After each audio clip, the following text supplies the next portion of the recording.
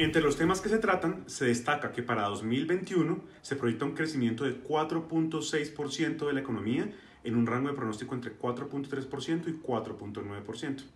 También se estima un leve repunte de la inflación hacia niveles del 2.6% al cierre del año y una expansión del, del déficit de cuenta corriente hacia niveles del 3.6% del PIB.